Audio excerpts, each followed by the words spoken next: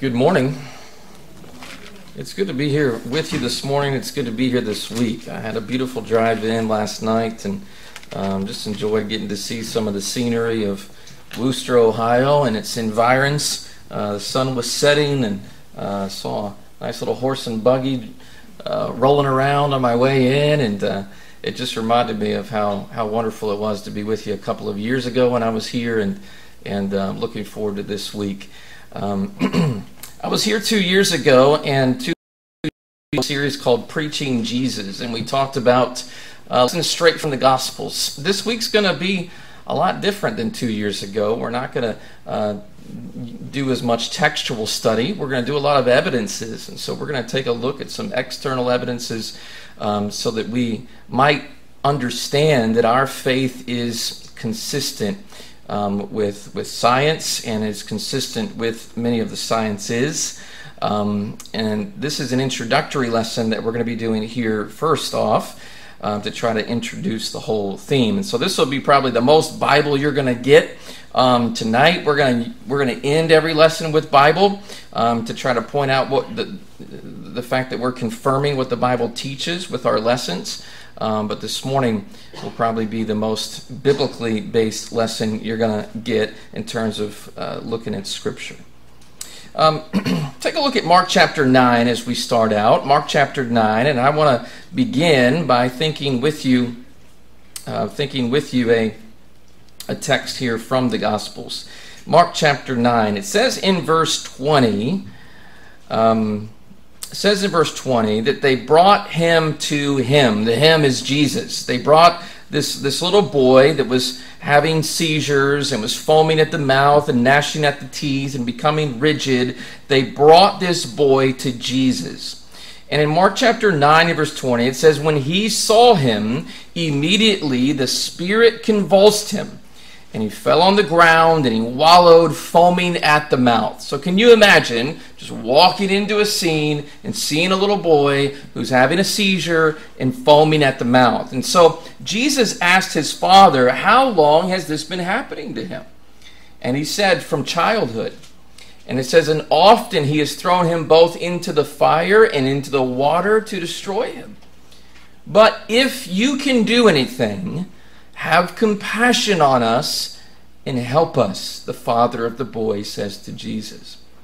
Jesus said to him, If you can believe, all things are possible to him who believes. In verse 24, immediately the father of the child cried out and said with tears, Lord, I believe, help my unbelief. And that phrase, I believe, I want to believe, but help my unbelief. That's really why we're doing what we're doing this week. Because I think we all go through times and moments of doubt where we struggle to believe, where our faith is attacked, where we, we hear what skeptics are saying, and we struggle sometimes to believe. And, and so we want help. We want to be convinced um, that what we want to believe so badly, that it really is true and we can have confidence in it. And that's our goal this week. To do that, um, we're going to take a look at a few things, and I'm just going to give you the preview, which you can see on the flyers, which I encourage you to hand out. This is really targeted to not, not just the local group here, but to people outside of these walls. Um, people who do have a hard time believing and are skeptical and have questions, um, people who are at the college right down the street, um, students who are eh, getting attacked perhaps with their faith and with theories. Um, but we're going to think this morning um, in, our, in our worship period about the cosmological and teleological arguments. You'll know more about what that, that means um, as we get into the lesson. Uh, but we're going to take a look at an evidence for God, which is the argument of cosmology, the argument of tel- teleology. And then also we're going to look at the moral argument for God tonight. Um, what does the, the fact that there is morality say about whether or not there is or is not a God? We're going to get into that more tonight. We're going to take a look at an argument that I think is one of the newer arguments for God. And it's one of the newer arguments for God because it's really become a much stronger argument since the discovery of DNA and the library like code that exists in DNA. And so that's the information argument for God. We're going to take a look at that Monday night. We're going to take a look at a lesson called the God of both Testaments, where, you know, sometimes people say, well, the God of the New Testament seems so much different than the God of the Old Testament. I can believe in the God of the New Testament. I'm not sure if I can believe in the God of the Old Testament. And we're going to take a look at, at that, that idea that sometimes gets presented. I think there's fantastic evidence for the Chinese language and Genesis. There are things about the Bible that are embedded into the Chinese language um, and, and, this is going to be a very different lesson than anything that you've perhaps heard. Um, there's not there's not a whole lot of people that are that are teaching that lesson, um, but but I think it's a very interesting lesson and a convincing lesson for, for how the Chinese people and, and their language um, actually uh, it contains evidences for the stories that we see in uh, the work of Genesis. We're going to tackle a lesson on Thursday night that I don't hear a lot of people teaching about, but some I hear a lot of people attacking the idea of Jonah in the Bible and how could Jonah have been swallowed by this great fish. And so we're going to just ask the question is Jonah mythical? Um, we're going to kind of put it back on the skeptics um, with that lesson. And then we'll conclude Friday night with a question why believe Jesus is the Son of God? We're going to talk about what a lot of people do believe about Jesus. We're going to kind of take a look at, at why what a lot of people think about Jesus really is inconsistent with the evidence. Well, let's get into the lesson here today with the rest of the time that we have. I look forward to talking to you more this week, getting to know you. It's been two years, and that I was here just long enough for a week to get to know your names, and I've been gone just long enough to forget most of your names. Um, and so, remind me of your names this week and today. Uh, be gracious to me. My memory is not always great, um, and, and, I look forward to, to talking to you more throughout the week and socializing. But let's get into this. Mark chapter 9, as we go back to that text. Mark chapter 9 um, contains some interesting information. It contains an interesting contrast. As you start Mark chapter 9, you actually read about the transfiguration of Jesus. In fact, let me show you this picture for a moment. And this is a picture that's a classical painting painted by Raphael. And at the top of the picture, if you can see that, that's just his artistic version of what the transfiguration might have looked like. But it encapsulates this entire painting, encapsulates the entire scene in Mark 9. So at the top of the painting, you have this rendering of a radiant Jesus who's being transfigured on the mountain, and he's in the presence of Moses and Elijah, if you remember that account. He's there with his three closest apostles. So there's Peter, James, and John, just below the, the floating Jesus and Moses and Elijah. It must have been, and as, as I think about the transfiguration, it's one of the hardest miracles for me to, to picture. And it must have been an amazing miracle. If, when I get to heaven, if I can have them just reenact that for me somehow, um, that that'd be a big favor to me because it's just something that in my mind I, I, I have a hard time imagining it. But I must think it must have made an incredible impression when you look at the reaction of Peter, James, and John upon that mount. And here you are in the presence of other Old Testament greats like Moses and Elijah, and you're being reminded of the Father's great love. It's a scene of glory, it's a scene of majesty. But then you look at the bottom of Raphael's painting, and it's the scene that Jesus has to face after he comes down from the mountaintop. And it depicts a dispute that's taking place between the scribes and the disciples of Jesus. And then on the side, if you take a look over here, there's the father with the little boy who foams at the mouth and convulses that we read about when we started our lesson. He's possessed with a demon. It convulses him, it seizes him into epileptic fits and until he foams at the mouth.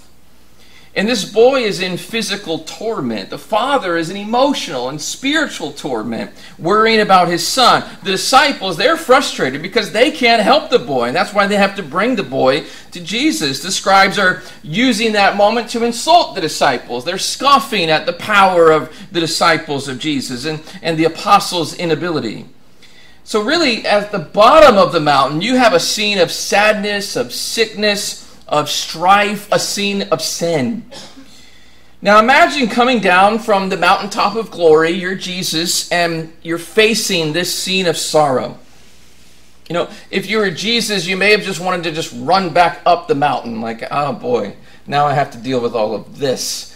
You know, my the Father in heaven was just speaking to me, was just telling me that I'm His pride and joy. Um, I was just there with Moses and Elijah. Um, I, I was just being glorified in radiant glory, and now here I am with this this messed up world. Raphael, um, the, the pulpit commentary kind of describes this contrast that Raphael paints and that we see. It says this in the pulpit commentary. It says, We can scarcely imagine a greater contrast than that which is here presented in Mark 9. You have the tranquility of the one, the tumult of the other, the calm repose of the one, the unrest of the other, the blessedness of the one, the distress of the other, the gladness of the one, the sadness of the other, the glory of the one, the gloominess of the other the heavenly quietude of the one, the unseemly wrangling of the other, the happiness of the one, the misery of the other, the ecstatic rapture of the one, the excruciating pain of the other, the confidence and comfort of the one, the disputatious unbelief of the other. The contrast was just that which we can conceive to exist between the holiness of heaven and the sinfulness of earth. Now, you think for a moment about Jesus, who's just heard the Father exclaim from the heavens, This is my beloved Son, hear him. And then a few moments later, after the time where God the Father says, Hear my Son Jesus, world, the world needs to hear him. Few moments later, you have this concerned father who says to Jesus, look at Mark 9:22 and notice the word if. He says to Jesus, if you can do anything, you're speaking to Jesus, the Son of God, the great miracle worker, the one the whole world needs to hear. And you're saying, if you can do anything? If you can do anything, have compassion on us and help us. So you imagine that, that God in heaven just speaking to Jesus and yet a lowly human being isn't sure if Jesus can really do anything to help the boy. And the boy's father cries out, Lord, I believe, but help my unbelief. How many of us have been or are in the shoes of this father? You know, we have our mountaintop moments of faith and we, we wish we could be confident and bold. But as we see the affliction of this world and everything that goes on in it, it's hard not to get rattled sometimes. We want to live on the mountaintop where where faith seems so easy for some people. But the truth is that we live down below where faith can sometimes be so difficult. We question why people get so dangerously sick. We question why is it that it seems like we're praying for something, but our, our prayers don't seem to have any avail. We wonder why God won't help ease the heartbreak that we feel in this broken world. And then to make matters worse, we have the scribes of this world who like to point fingers at us and criticize and tear down our faith until we want to cry out, Help my unbelief. I'm having a hard time. Have you been there? And have you questioned? Because I can tell you I've been there. It, it's, it's, it's been a struggle for me, especially when I was a, a teenager and as I was younger. Faith was a struggle for me. And I, and I longed for evidence, proof. You know, help my unbelief. Um, I've been waiting for someone, I think when I was younger especially, to, to come along out of the crowd of people who are fighting about faith to offer some real proof and some real evidence to give credibility and confidence to my faith in God and in His Word and, and in His Son. And if you've struggled with that and wrestled with that, I'm going to tell you that you're not alone because doubts at times arise in the mind of almost every Christian. Doubts have arisen in the hearts and minds of some of the greatest men of faith. God doesn't expect you to believe everything without question. We are actually called to test what we hear so that we might have confidence in it and we might believe it. our belief has to be more reasonable and rational than our unbelief, or we're not going to believe. And so, in this lesson, what I just simply want to do with our, our short time we have left is I want to consider a few of the characters who are really considered strong characters of Scripture, but they went through moments of unbelief and doubt and struggle to get there. And I want you to think about God's response to their questions. Let's start in the Old Testament with Gideon. Gideon lived at a time when the Midianites were oppressing the people of Israel. And Gideon asks an interesting question in Judges 6 and verse 13. This is when, you know, the angel of the Lord tells Gideon that he has a special mission. and Gideon responds with this question, what killing in his He says, "Oh my Lord, if the Lord is with us, why then has all this happened to us?" It's an interesting question, isn't it? You say the Lord is with us. You're telling me to go do something on behalf of the Lord. You want me to go defeat the Midianites who are oppressing the people of Israel. But if the Lord is with us, then why have all these bad things been happening? People ask questions like that today, right? It's a popular question. You know, why would a God, a good God, why would he allow evil? That's a question that people ask in our world. Epicurus asked a similar form of question. Epicurus is the, the founder of the Epicurean philosophy. And Paul actually dealt with the Epicureans and Stoics in Acts chapter 17. Well, what do the Epicureans believe? Well, Epicurus once said this. He said, either God wants to abolish evil and cannot, or he can, but he doesn't want to, or he cannot and he doesn't want to if God wants to abolish evil but can't do it, then he is impotent. He's an impotent God, was Epicurus's conclusion. He says, but if he can abolish evil and he doesn't want to, then he's wicked. But if God can and wants to abolish evil, then how come there is evil in the world? This is a similar question to what Gideon's asking. Why are these evil things happening to us if God is with us? Why hasn't he done something about it? Well, you know, what you're going to see in this story is, well, that's why God's putting you to work, Gideon, because he's trying to use you to, to accomplish this. But these questions that people ask suggest that, that we're doubting God. And I think it's important to point out about Gideon because sometimes I, I don't like how we've taught Gideon in Bible classes and, and in churches sometimes. We, we paint him as if he were this mighty, brave hero who never struggled and he was always confident. But the truth is about Gideon that when God first tasked him with his mission, he was a doubting coward. He asked the question, first of all, in Judges chapter 6 and verse 13, Oh, my Lord, if, if the Lord is with, with us, why has all this happened to us? But you can look at other instances as well. In Judges chapter 6 and verse 15, in Judges 6 and verse 15, the angel of the Lord says, I want you to go. And he responds and says, Oh, my Lord, how can I save Israel? He's not confident. He's not bold. He's not courageous. He's asking the question, How can I save Israel? And he says, my clan is the weakest in Manasseh. I come from a weak family. I'm from a family of weaklings. You know, and he says, and I am the least in my father's house. I am the weaklingest of the weaklings in my family. Why do you expect me to do this? The angel reassures Gideon. And then Gideon responds in Judges 6 and verse 17 If now I have found favor in your sight, then show me a sign that it is you who talk with me. So he's like, I'm still not convinced that I need to go do what you're telling me to do. I'd like a sign.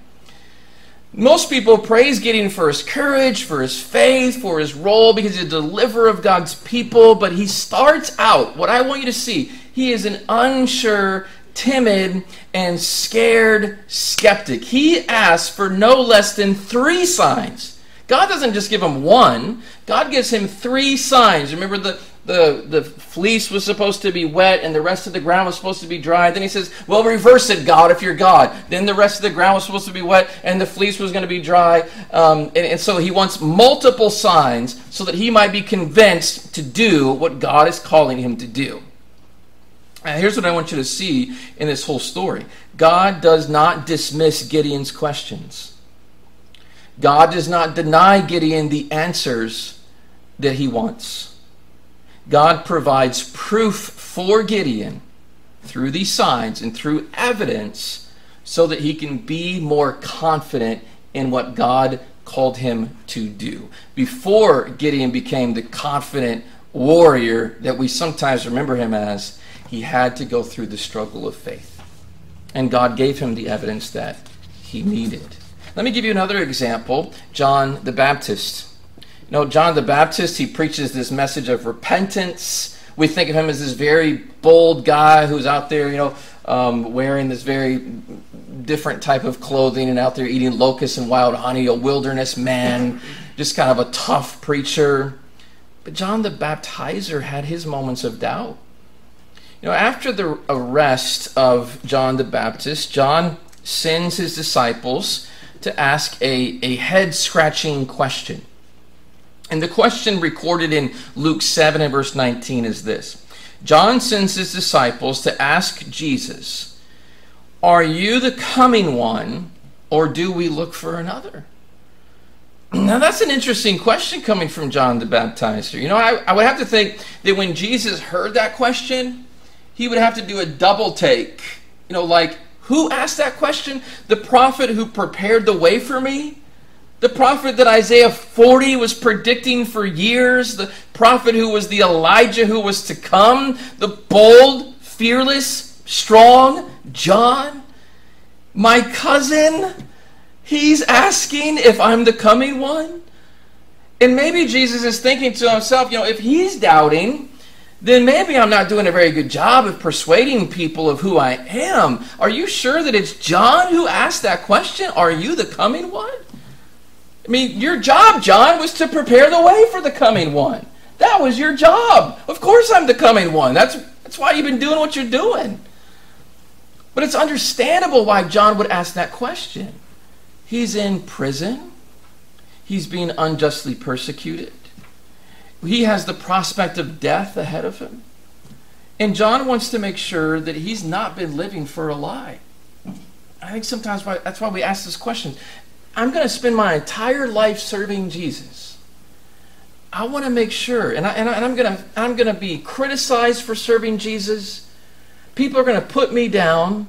Some people are going to mock me because of my faith. I want to make sure that what I'm believing and who I'm serving, He's real. I want to make sure that I'm not believing a lie. And that's what John wants. John wants reassurance. Jesus doesn't belittle John, and I think that's important. Jesus does not belittle John for his questions, and he doesn't belittle him for his doubts. He helps reassure him. There is a difference, I do want to say this, between doubt and unbelief.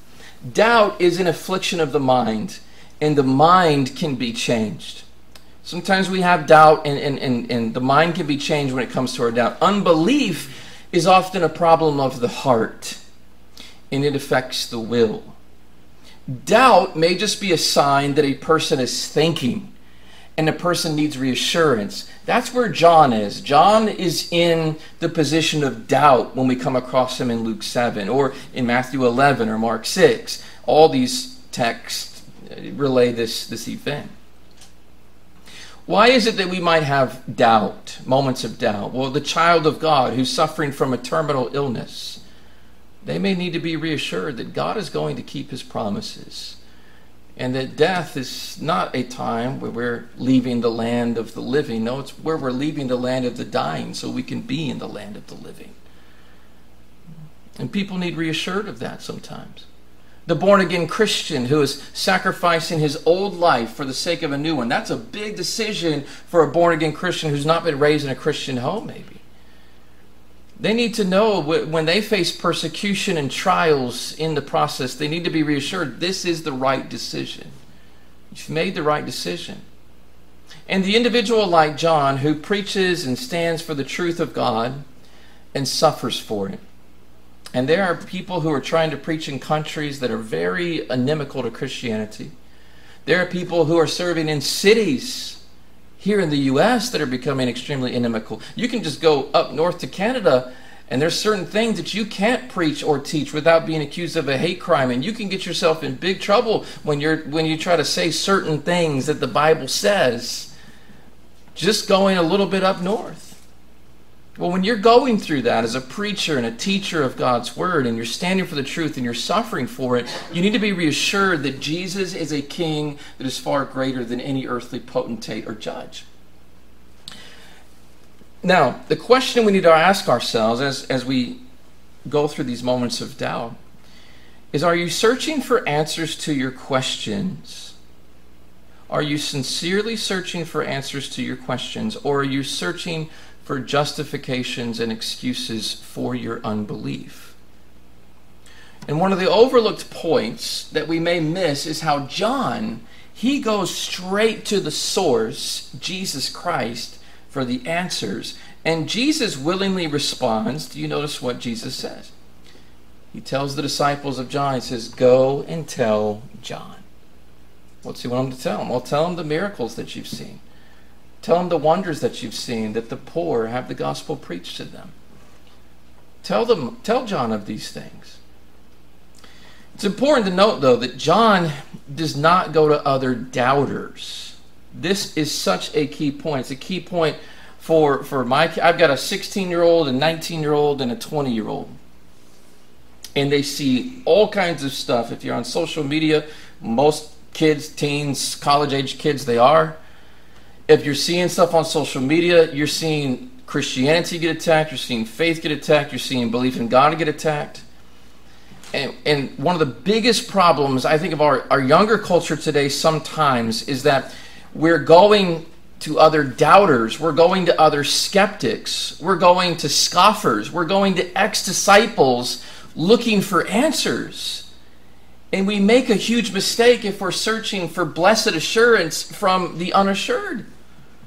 The blessed man does not seek counsel from the ungodly. Psalm chapter 1 says that. If you want to be blessed, you, you don't listen to the ungodly. That's not where you're going to find the answers you you need.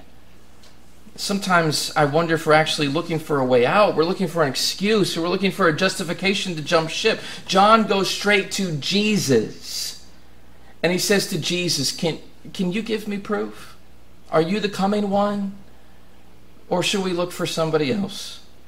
And notice what Jesus immediately does. He performs miracles right there in the presence of John's messengers, and he says to the messengers, Go back and tell John what you've seen so that he has the evidence that he needs.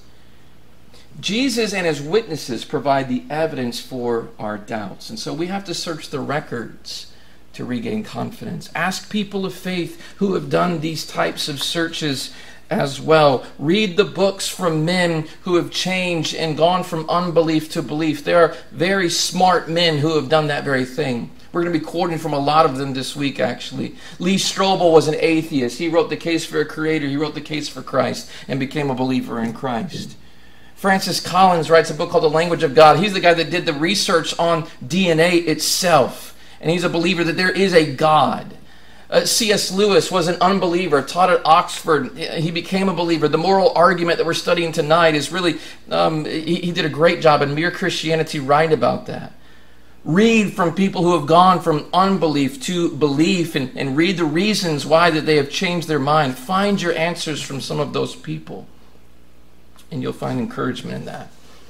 Let me notice a couple more examples with you from Scripture of people who struggled and had their struggles. Thomas is another one. Thomas often gets a bad rap. We call him Doubting Thomas. But we forget about a couple of things with Thomas. For, for, example, we forget before he was doubting Thomas, he was actually very courageous Thomas.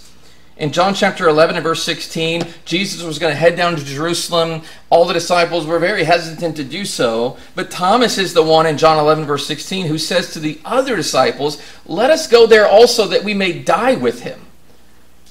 Thomas was ready for, to die for Jesus. He loved Jesus. He loved Jesus zealously, he loved him boldly, but it's clear that when Jesus finally dies, Thomas is deeply wounded. He is hurt. He feels very hopeless. He's lost his leader. And we read of the passage where Thomas gets his negative nickname, you know, doubting Thomas. We read it from John chapter 20, verses 24 and 25. And in John chapter 20, 24 and 25, that's where Jesus says, or Thomas says about Jesus. He says, Thomas called the twin, one of the twelve. He was not with them when Jesus came. And the other disciples therefore said to him, We have seen the Lord. They know that Thomas is discouraged, he's struggling in his faith. He's just very depressed in this moment because this is a week after Jesus has gone to the cross. And they tell Jesus, We've seen him. You know, cheer up, buddy. You know, Jesus is alive. This is good news. And Thomas is still just like, that, that can't happen. Jesus being, he, I saw him on the cross. We all saw him. We all know that he died. And so Thomas says this Unless I see in his hands the print of the nails and put my finger into the print of the nails and put my hand into his side, I will not believe. He's really struggling here. And that's where he gets his nickname. His words come from a wounded heart. He's defensive, he's pessimistic, he's challenging. There's just some things, some claims about Jesus. He's having a hard time wrapping his head around. I mean, yes, it, it's hard to wrap your head around somebody that's dead and he's alive again three days later. But thankfully, Jesus takes Thomas up on the challenge. And this is what I want you to see about all of these examples. God never says, Shame on you for not believing. I'm not giving you any more evidence. No, Jesus takes Thomas up and he offers to show him the evidence that he desires when he comes into that room to make another resurrection appearance. He allows Thomas the chance to examine the evidence for himself. And he says, Do not be unbelieving, but believing. Go ahead and put your finger into the print of the nails. Go ahead and put your hand into my side. And don't be unbelieving, but believing. He gives him every chance to examine it. And after examining the evidence, Thomas's belief is reignited in the risen Christ. So he really shouldn't be called Doubting Thomas. He's Believing Thomas now. That nickname needs to be shed. Don't you hate it when people give you nicknames from some bad experience you had from years ago? That's not me anymore, okay? Give me a new nickname, guys. Um, that's not the person that I am anymore. Some people just need to be reassured that there's evidence, and Thomas was one of those people. And I just want to say, let's not give up on the Thomas like personalities of this world. Don't give up on them. Give them the evidence that they need. Let them know. Let them be reassured. Well, there's one more that I'll finish up with you, and that is Paul. That is Paul. Some, in their unbelief, they just cower away and quietly go about their own lives, like Thomas. But some, like Paul, feel compelled to punish and threaten believers as um, uh, to, to intimidate them. And that was Paul. Paul's holding the coats of murderers in Acts chapter 7. Um, he's putting Christians in prison. He's casting his vote against them, having them put to death. And so when Ananias is called to go teach Paul, Ananias is very afraid in Acts chapter 9, verses 13 and 14. He's like, hold on. Are you sure this is the person that you want me to teach? Because I've heard some bad things about this guy. He really doesn't like Christians. But an appearance from the resurrected Jesus helped Paul be brought to his knees and caused one of the most incredible life changes that's ever been witnessed. And Paul mentions it in 1 Corinthians chapter 15. Now, what's interesting about Paul, just in summary, because I'm running out of time, but before Jesus Christ, Paul wanted to kill Christians. But after the appearance of Jesus Christ, Paul was willing to die for Jesus. Now, why did God want Paul so badly? The reason why God wanted Paul so badly, Paul says, is because he wanted Paul to be the blueprint for every believer after that. For people who struggle with their faith and with their conviction, so for people who even hate God and hate Jesus and hate the things of God, God wanted Paul to be the blueprint for every person so they could have hope that if Paul changed, you can change too. And if Paul could be saved, the chief of sinners, you can be saved too. Paul wasn't just a one off convert. His conversion wasn't a one time only event. God wanted Paul to be the example for many others who would follow. Evidence can change hearts, can change minds, and can change lives. Now, why am I passionate about evidences? Well, how many of you can see yourselves at one point or another as, as one of these characters that we've talked about today? You've had your Gideon moments of questioning the character of God. You've had your John moments where you've been questioning whether Jesus is truly who he claims to be and who the Bible claims he is. You've had your Thomas moments where you felt kind of defeated and wanted to be convicted about the one whom you have believed? And maybe you've even had your Paul moments where you talk bad about God's people and you've talked bad about the church and you've even been persecuted and mocked Christians. I'm going to tell you something. I've been there too. And when I was a younger teenager, I questioned the teachings of my upbringing. I wondered if what I'd been taught about God and about Jesus Christ and about the Bible, whether it could be validated. I got discouraged when I saw that there seemed to be so few believers and so many mockers. And I even went through stages where I just thought Christians, they're just a bunch of silly killjoys who didn't want anybody to have fun and they're just blindly following what they've been taught by tradition. But one day I was confronted with evidence. I listened to sermons about the evidences that we have for the people, for the places, for the events of the scriptures, and I was convicted. And I love searching out the evidences, studying the evidences, preaching on the evidences, because there's evidence for what we believe. There's proof so that we might believe beyond a reasonable doubt. And God uses the rational process of logic and reason to help us to see that we're not believing a lie, but God, His Son, His Word, its promises, they are a reality. The evidence isn't hidden. Books upon books, lectures upon lectures, defense upon defense have been made to help us know the evidences for our faith. And so, my hope for you this week we're really just touching the hem of the garment when it comes to evidences, by the way. I'm getting like 50 sermons on evidences. I'm presenting eight to you this week. But my hope this week is that you'll honestly listen and examine and use these evidences to become convicted and courageous in the defense of the truth. I, know that many of you, you want to believe, and the people that, that you know want to believe. And I just want you to know that the Lord can help your unbelief. And I hope that we we accomplished some of that this week. So thanks for your attention this morning. Look forward to our next lesson.